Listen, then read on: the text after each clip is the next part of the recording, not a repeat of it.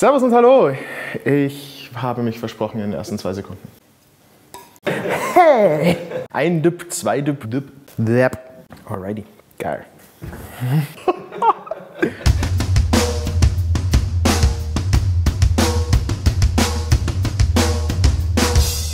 Servus und Hallo, ich bin der David aus der Klangfarbe und ich erzähle euch heute ein bisschen etwas über das Evans Sensory Percussion, ein neues Trigger-System, das Evans vor kurzem rausgebracht hat, wo es nicht mehr nur darum geht, seine eigenen Schlagzeugsounds zu triggern, sondern einfach viel mehr aus seinem eigenen Instrument herauszubekommen. Das Besondere an diesem System, was Evans entwickelt hat, ist, dass diese Trigger nicht mehr nur einen einzigen Schlag wahrnehmen können, sondern viele verschiedene Zonen über der Trommel wahrnehmen.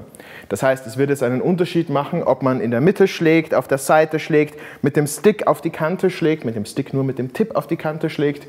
Man hat ganz viele Möglichkeiten, neue Musik zu machen oder ganz neu an sein Instrument heranzugehen. Um das Evans-Portal vollkommen auszunutzen, steckt man das Ganze an einen Computer an und mit der Software, die Evans einem da zur Verfügung stellt, kann man dann alle Einstellungen treffen, die man dafür braucht. Also, wofür kann man das alles benutzen? What the fuck is this? I don't know.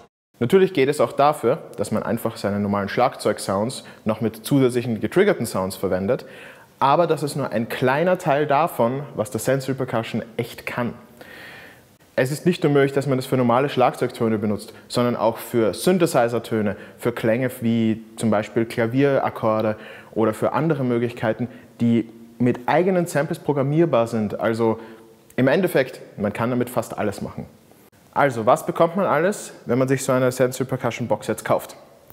Was natürlich einmal damit kommt, sind drei Sensoren für dieses System. Jede von diesen Sensoren kommt mit einem dazugehörigen Kabel und das alles kann man anstecken am inkludierten Evans Portal. Das Evans Portal ist gleichzeitig ein Audio-Interface, aber auch ein Punkt, wo man diese Sensoren anstecken kann.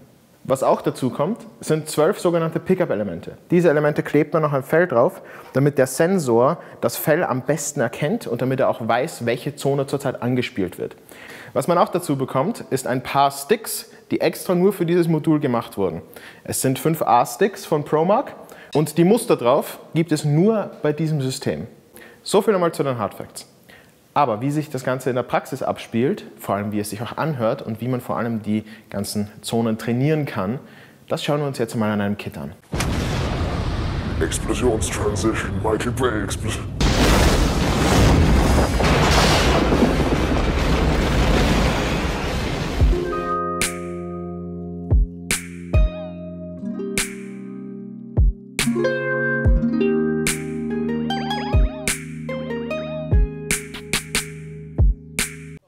Die vorgebauten Trainingssets von Evans kann man hier unter dem Trainingsmenü unter verschiedenen Leveln finden. Das erste Level sind die ganz basic Sachen, wo man mehrere Zonen für die Spielflächen einstellt, damit man einfach mal loslegen kann.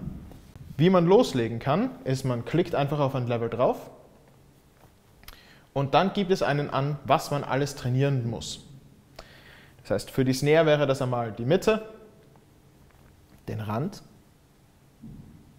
den Rim-Kontakt mit dem oberen Teil des Sticks und den Rim-Kontakt mit dem Tip des Sticks.